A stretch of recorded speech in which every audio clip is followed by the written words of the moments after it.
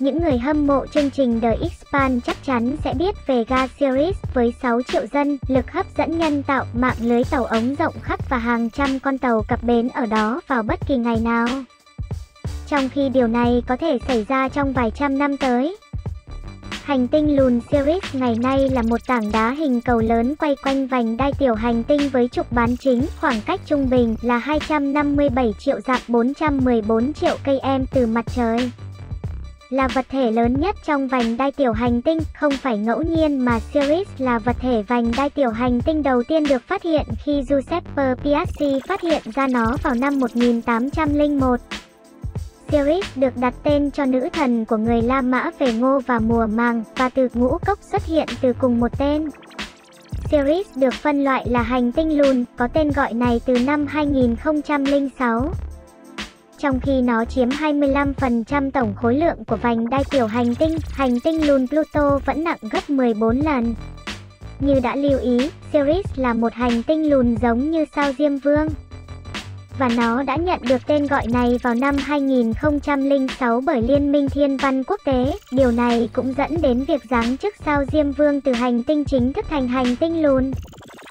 Ceres đã được nghiên cứu rộng rãi bởi tàu vũ trụ Dawn từ năm 2015 đến năm 2018, trở thành tàu vũ trụ đầu tiên quay quanh hành tinh lùn. Trong nhiệm vụ của mình, Don phát hiện ra rằng Ceres có thể hình thành ở xa mặt trời hơn nhiều so với nơi hành tinh lùn hiện đang cư trú ngày nay. Tàu vũ trụ đã tìm thấy ammoniac trên bề mặt của Ceres, nơi cần nhiệt độ lạnh hơn nhiều ngoài quỹ đạo của sao mộc để ngưng tụ. Ceres chủ yếu được biết đến với những điểm sáng bí ẩn được tàu vũ trụ Don chụp lại khi nó tiếp cận hành tinh lùn vào năm 2015. Các nhà khoa học hiện tin rằng những điểm sáng này là cặn muối còn sót lại từ nước muối hoặc nước dầu muối phát ra từ bên trong của Ceres. Không có khí quyển, chất lỏng dầu muối này tiếp xúc với không gian sẽ ngay lập tức bốc hơi, để lại một loại lớp vỏ muối trên bề mặt. Mặc dù điều này có thể chỉ ra một đại dương lỏng bên trong Sirius, nhưng một số chuyên gia vẫn chưa thuyết phục.